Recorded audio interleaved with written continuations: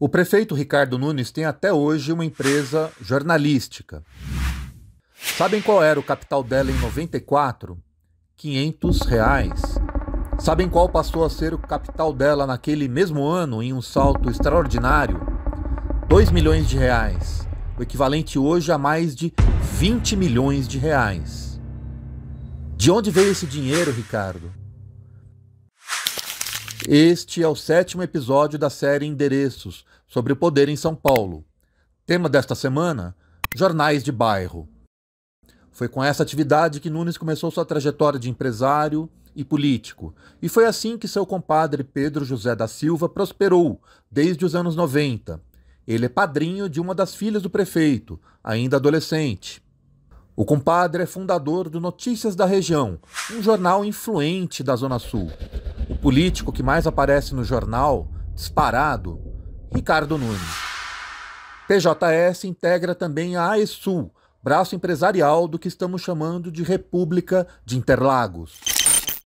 Como você sabe, a gente está sempre aí à disposição, tentando fazer o que possível, ajudar o desenvolvimento da região, através da ESUL, que é a nossa menina de ouro. E tem mais: o antigo sócio do Notícias da Região, Oswaldo Cavalcante Maciel, foi um dos maiores fraudadores da história do Banco do Brasil. Ele foi condenado e preso por um golpe de 155 milhões de reais em 95, equivalente hoje a 1 bilhão e 600 milhões de reais. Maciel também é sócio de Vanderlei da Silva, que é sócio de quem na editora paulistana? De Ricardo Nunes. Qual a relação entre Nunes e Maciel? De olho nos ruralistas, vem perguntando isso ao prefeito desde o primeiro episódio da série Endereços, em junho, sem resposta. Este homem, vizinho do sítio de Nunes, em Engenheiro Marcilac, diz que Nunes era funcionário de Oswaldo Maciel. Olha, eu não sei se comprou, como é que é. Que Ricardo, na verdade, era segurança do Maciel. Aí depois que teve um bolo aí, sei lá, entre eles aí. Aí teve um bocado de propriedade aí que ficou por desempregado. Hum. Sei lá, acho que é conta, sei lá. É isso mesmo, prefeito? 30 anos depois, os contratos da empresa de Pedro José da Silva com a Prefeitura Paulistana já somam 116 milhões de reais, somente durante a atual gestão, a gestão Nunes. São contratos das secretarias, das subprefeituras e da SP Obras, muitos emergenciais, com a empresa DPT Engenharia, hoje em nome de Pedro José da Silva Júnior. Na maior parte, na Zona Sul, território de Nunes e do compadre. Por quê? Será que essas obras beneficiam realmente a população e o ambiente diante do que vimos no Rio Grande do Sul? Por que tantas emergências? É o que veremos nos próximos episódios da série Endereços em nosso canal. Você já se inscreveu? E não custa insistir. De onde veio o dinheiro, Ricardo?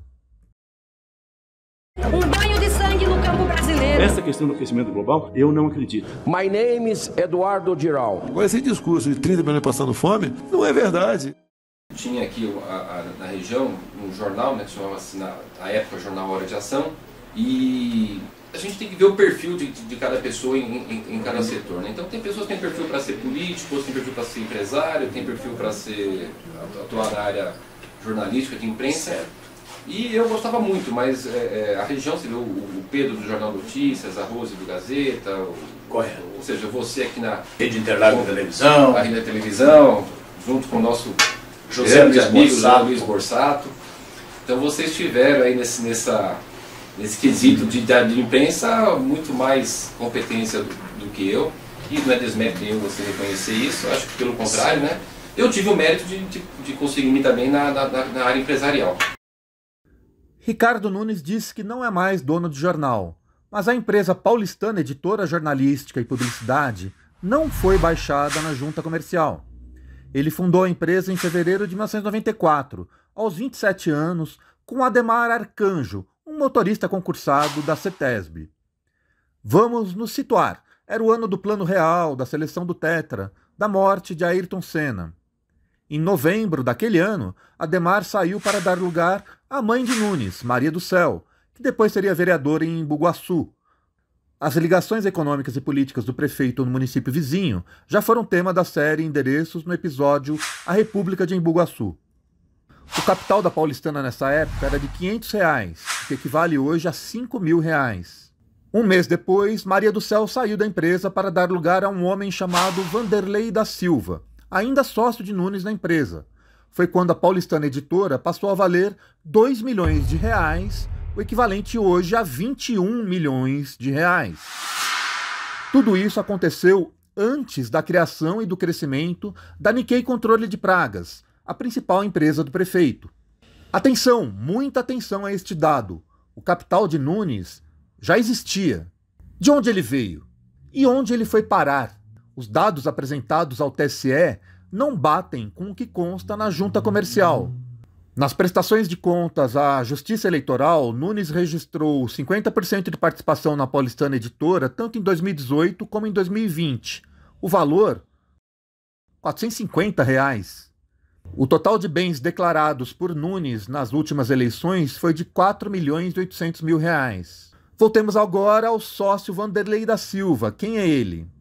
Vanderlei gerencia uma pequena empresa em nome do filho na Zona Leste. O filho reforma vans para o segmento de comida ambulante, food truck. Nenhum sinal de riqueza. Ele ainda é sócio da Gato Cão Produtos para o Reino Animal e da MW Produtos para o Reino Animal. As duas atuam com produtos veterinários e para o agronegócio. Seu sócio é Oswaldo Cavalcante Maciel, o dono da empresa mãe Reino Animal, aquele do golpe bilionário no Banco do Brasil. Tanto a sociedade de Nunes com Vanderlei como as de Vanderlei com Maciel foram firmadas em 94. No ano seguinte, Maciel foi preso e condenado três anos depois por participar da fraude histórica contra o bebê, de 155 milhões de reais. Nós fizemos as contas e esse valor corrigido equivalente hoje a 1 bilhão e 600 milhões de reais. Maciel e os outros condenados fizeram 499 empréstimos fraudulentos junto a uma agência do Banco do Brasil em Jundiaí, no interior de São Paulo, com a ajuda de um gerente. As beneficiárias eram 46 empresas ligadas ao grupo, algumas delas de produtos para animais. Maciel e outros envolvidos chegaram a cumprir pena na Casa de Detenção de São Paulo, o presídio do Carandiru, hoje demolido boa parte do valor bilionário nunca foi recuperada. Antes desse escândalo, Maciel presidiu a Sociedade Amigos de Interlagos, a SAI, outra organização ligada aos Amigos de Nunes na Zona Sul. O compadre Pedro José da Silva foi diretor da SAI ao lado de Maciel. Ele chegou a reformar, segundo ele, do próprio bolso, uma praça chamada Batista Botelho, em Cidade Dutra, perto da sede da ESUL.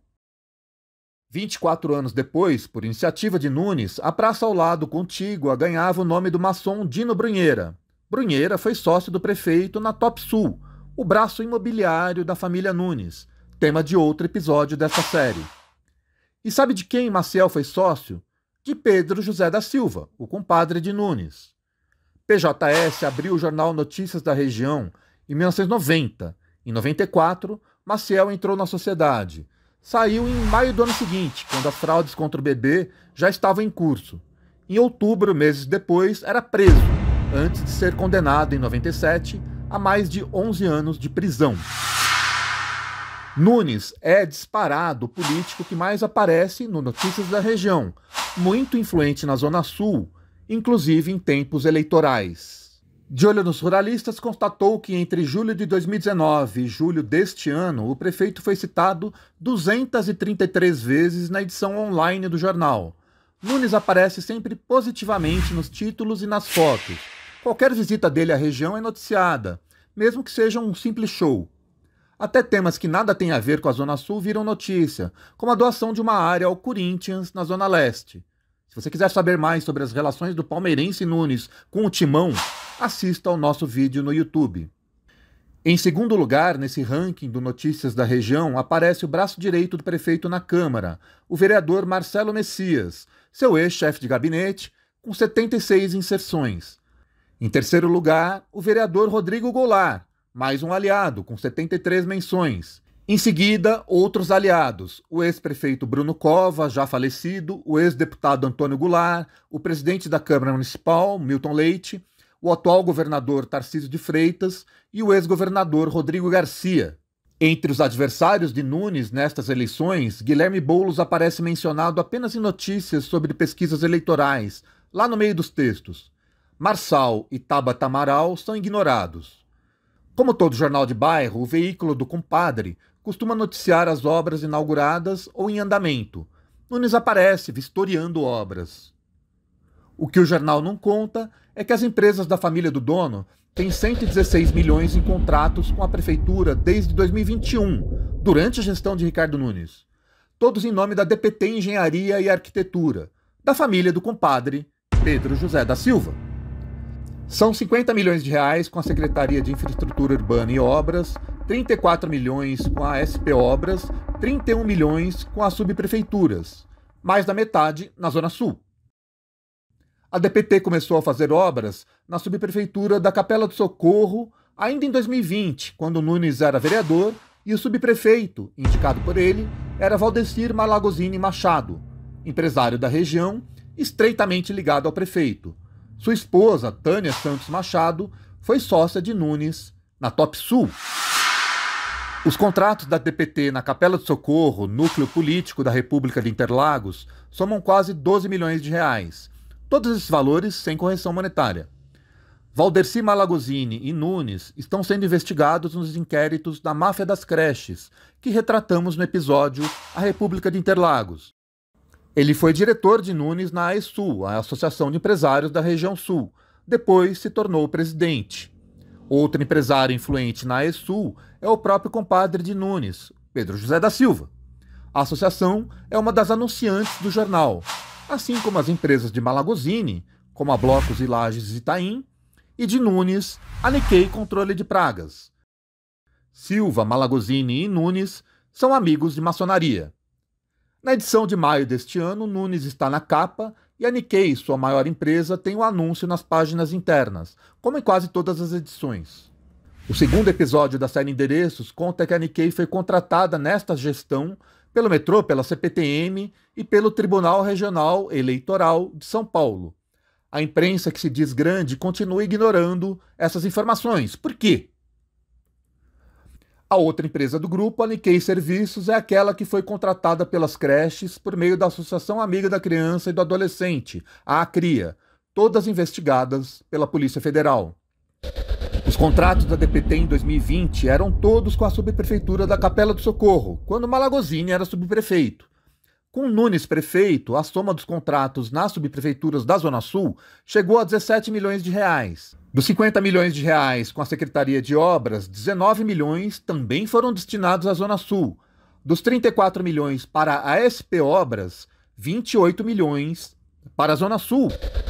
São diversas obras pela cidade, como reformas de escolas, creches, unidades de saúde, construção de taludes, canalização de córregos.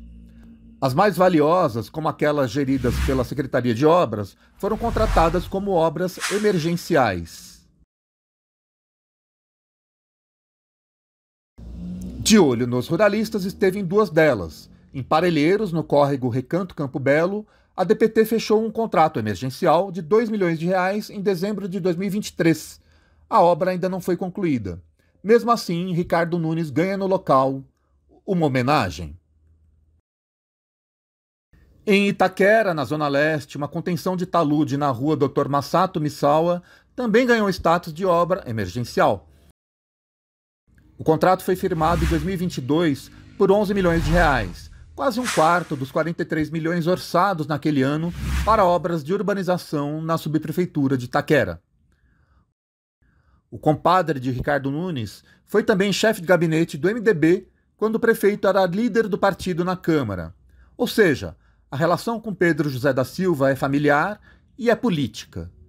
Em suas entrevistas, Nunes descreve um passado humilde Conta que seu pai era gerente de uma empresa de ônibus na Zona Sul, abriu uma empresa em Cananéia, no litoral paulista, mas faliu e voltou para a capital. E aí eu fui morar no Parque Santo Antônio, que é uma das coisas mais é, é, importantes do ponto de vista da minha vida de aprendizagem, porque eu saí da escola particular, fui estudar na escola pública, saí do plano de saúde particular para usar o serviço de saúde pública, é, usar o transporte público e viver o que, que vive na periferia. Então, hoje, como prefeito, eu consigo, de uma forma é, verdadeira, entender qual que é a necessidade de quem vive na periferia. Nunes não conta o que aconteceu nos anos seguintes para ele se tornar um empresário milionário antes da Nikkei. O mito de origem humilde tem uma lacuna. De onde saiu o dinheiro, Ricardo? E para onde ele foi?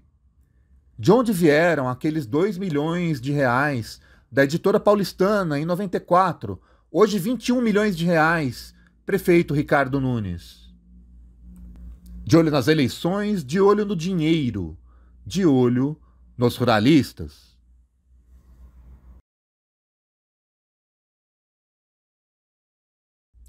Em tempo, este observatório está em plena campanha de arrecadação de recursos para manter sua equipe durante a campanha eleitoral. Você pode fazer um Pix ou colaborar a partir de 25 reais mensais e com isso receber um de nossos boletins diários, de olho no agronegócio, de olho nos conflitos, de olho na comida, de olho no ambiente. De Olho nos Ruralistas é um projeto de jornalismo investigativo e de pesquisa que dá nome aos bois. Fazer jornalismo sério neste país significa sofrer pressões de diversos tipos, inclusive judiciais. E por isso pedimos seu apoio.